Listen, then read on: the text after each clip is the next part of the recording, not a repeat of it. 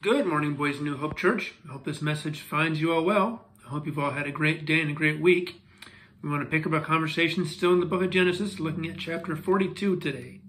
Uh, last week in chapters uh, in 41, we looked at Joseph's release from prison, as well as his interpretation of Pharaoh's dream, and then he was uh, instated as the number two man in Egypt. If you recall that, and then he started the process of storing up grain for those seven years of plenty, and then for those seven years of famine. And we finished with the idea that Egypt has done so well under Joseph's management that now they have grain to sell to other nations in the midst of this famine. It's now we're two years into that famine is where we start uh, in chapter 42. But we really saw God's hand with Joseph, even though he was left in prison and forgotten. We saw God's hand still with Joseph and all those things. Uh, let's start this week at chapter 42. Let's look at verses uh, 1 through 5 to get us started here of chapter 42. It says this It says, When Jacob learned that there was grain in Egypt, he said to his sons, why, why do you just keep looking at each other? He continued, I have heard that there is grain in Egypt. Go down there and buy some for us, so that we may live and not die.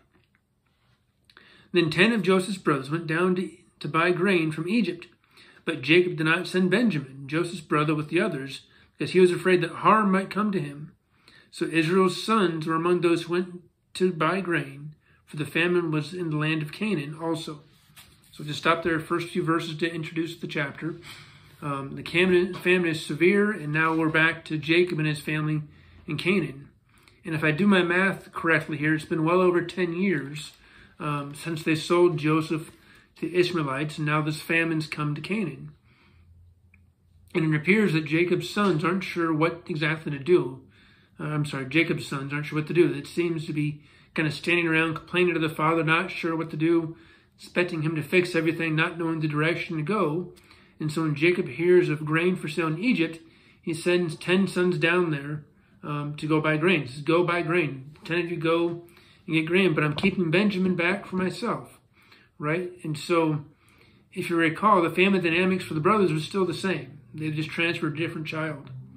Remember Reuben and Judah both thought they could be um, Jacob's favorite sons, and they were kind of vying for that position after Joseph's perceived death.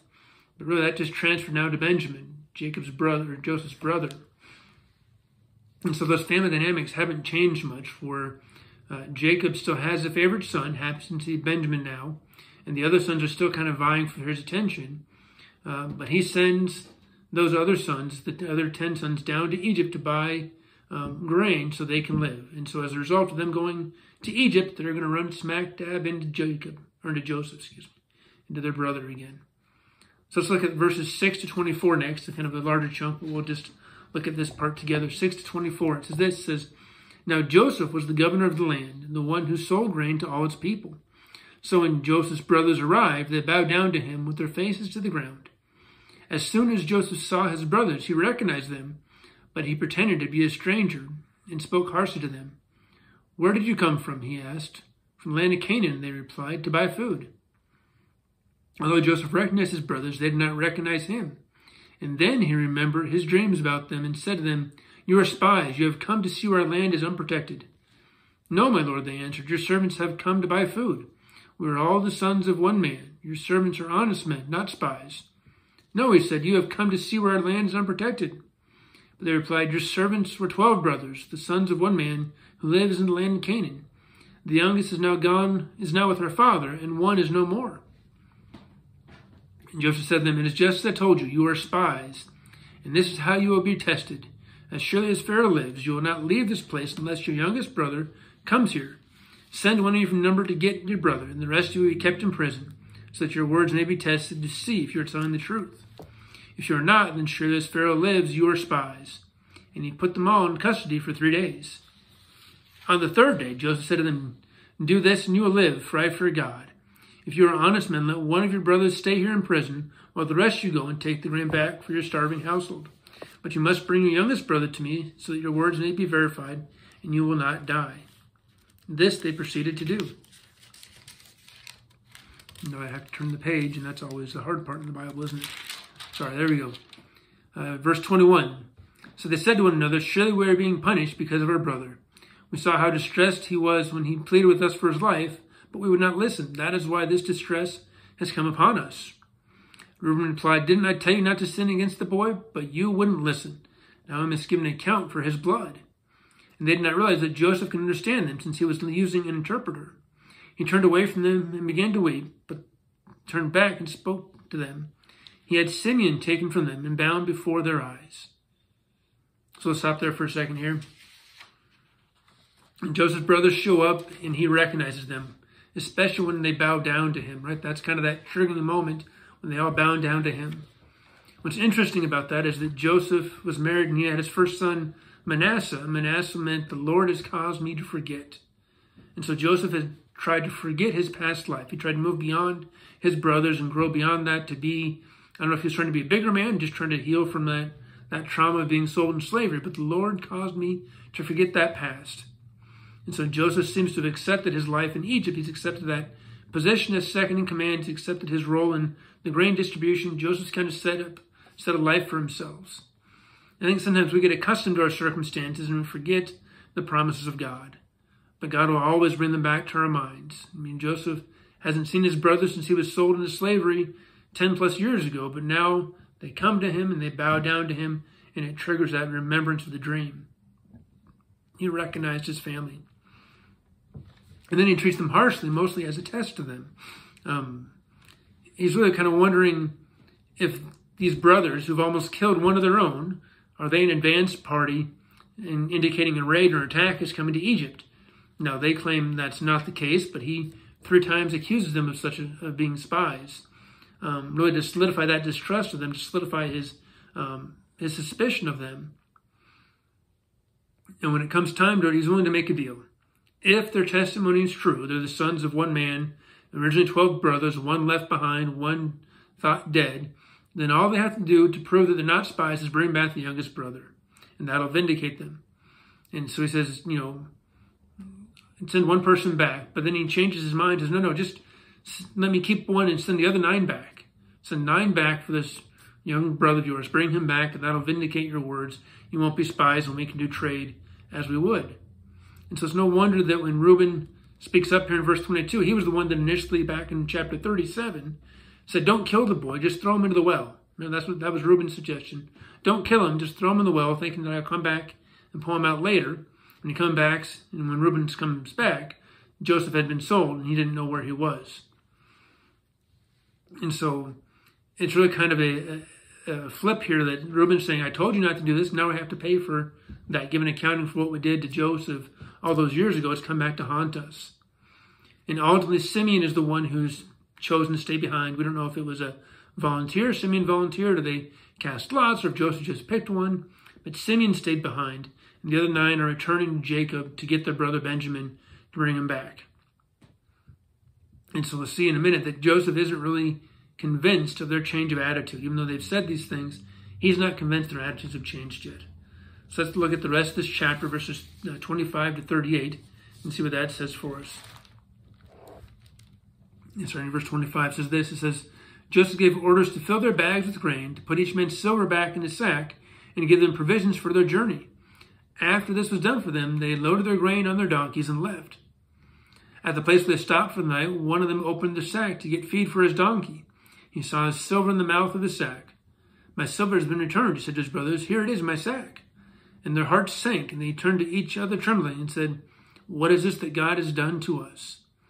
When they came to their father Jacob in the land of Canaan, they told him all that had happened to him. They said, The man who is Lord over the land spoke harshly to us, and we were treated as though we were spying on the land.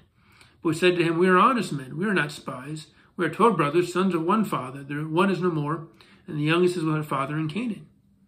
Then the man who is the Lord over the land said to us, This is how I will know whether you are honest men. Leave one of your brothers here with me. Take food for your starving household and go. But bring back your youngest brother to me, so I will know that you are not spies, but honest men. Then I'll give your brother back to you, and you can trade in the land. As they're emptying their sacks, each man's sack was in each man's sack was a pouch of silver. When they and the father saw the money pouches, and they were frightened, the father Jacob said to them, You have deprived me of children.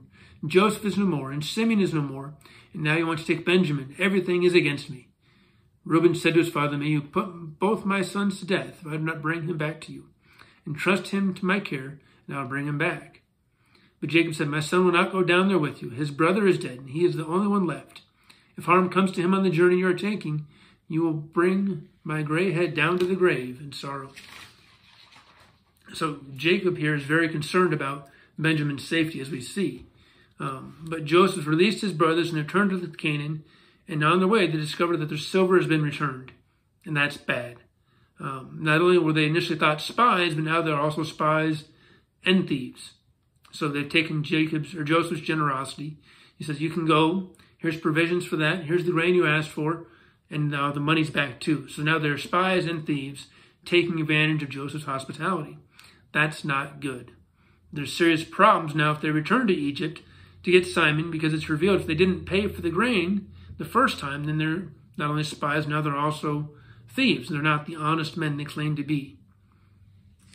And so I think the test Joseph's really giving his brothers is are they willing to face the consequences for the sake of another? Are they willing to face those consequences, face that challenge, that difficulty in order to uh, redeem Simeon, basically, to redeem Simeon back to the family? And when he tells, and when the brothers tell Jacob this, he is obviously very ner- nervous. He's come to the conclusion that if the family returns to Egypt and if they take Benjamin with them, then Benjamin will also be lost to him. And he'll be without family, without heirs, without sons. And so he forbids it from happening. Jacob is so concerned over Benjamin's safety, says, Nope, no one's going back. What does make do with what we have. Um, so Jacob forbids that return. It's harsh, but Jacob doesn't want to risk Benjamin in this way. It seems like he's okay losing Simeon, saying, okay, there's one more loss, but I'm not going to take any of the losses. And so he's jealously holding on to Benjamin, the only reminder of his favorite wife, of Rachel. And so Jacob is really putting themselves in quite a predicament here by not allowing them to go back into trade. So whatever grain they came back with the first time on those nine donkeys, or those nine donkeys or camels, whatever it might be, that's all they have. And so he's really kind of putting them into the into a tight corner here. But really, chapter 42 here, as we read, this begins a long narrative about Joseph and his family. It goes on for many, many chapters here. And so we've touched on just the beginning of that story today. And I want to remember a few things. First, God cares about us. Now, why do I say that? Because God cares about us, that's true. But look at Joseph, right? He was in Egypt. He had become content with his circumstances, but God wasn't going to let him off the hook for that vision he gave him.